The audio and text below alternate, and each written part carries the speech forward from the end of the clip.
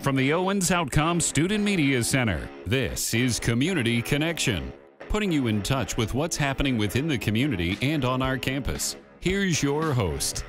Welcome to this segment of Community Connection. My name is Rob Thomas, and with me today is Steve Williams. Steve is an instructor for the Food and Nutrition and Hospitality program at Owens Community College. Thank you for joining us today. Thank you. Good to be here, Rob. It, it is uh, springtime, and there are a lot of uh, plans on people's minds when it comes to vacationing.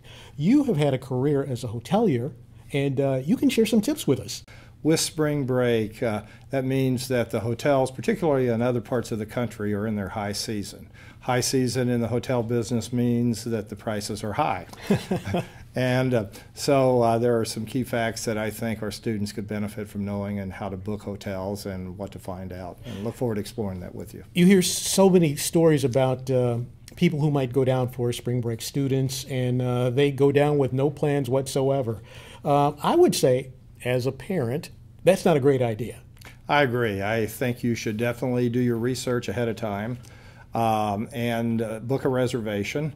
Uh, there are several ways you can book a reservation, and uh, you might want to check out the social media sites to see reviews on sites like TripAdvisor and Expedia and Google uh, to see what other people have said about the particular hotel you're thinking of staying in.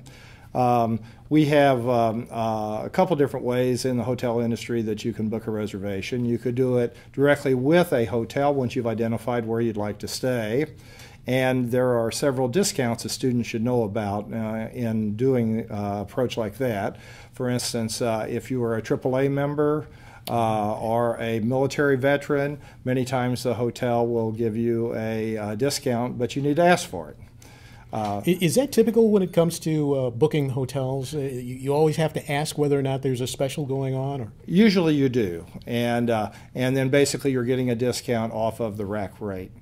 The other approach that many people use in booking hotels is what we call OTAs in the business or online travel agencies. Okay. This would be people that you see advertising a great deal on the media, such as Expedia, Priceline, Booking.com, those kinds of services. How, how does that work? They're good services, they're paid by the hotel.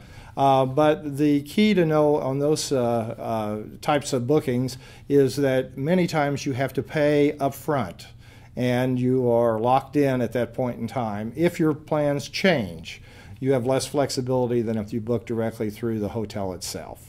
But typically, that's a, a better way to go when it comes to a rate? It many times is. Trivago is another one that comes to mind that uh, people use a good deal in that respect. And so I would recommend really looking at both sides of the fence, both in house and through the OTAs as well. Many times, if you are willing to pay the entire amount of the money up front, uh, even directly with a hotel, you can get a reduction, a significant reduction uh, in your rate as well.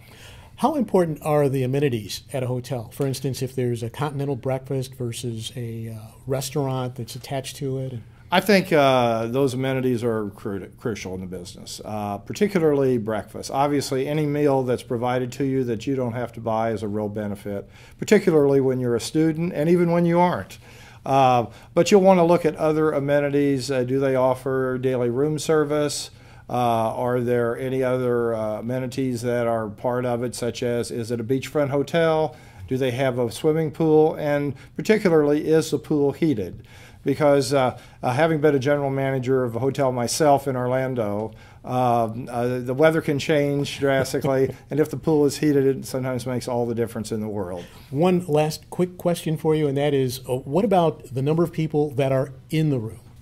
I think that uh, in most cases, uh, depending on the size of the room, you can comfortably put six people, uh, according to hotel rules, in in the room. You want to be careful though with getting beyond that because you uh, you know you're violating what the hotel wants in that respect. Well, thank you. And also, you, I think you. I'm going to have to cut you off. There's right? so much more we could talk about, but we're running out of time. I'm Rob Thomas. Steve Williams has been our guest on this segment of Community Connection. This has been Community Connection.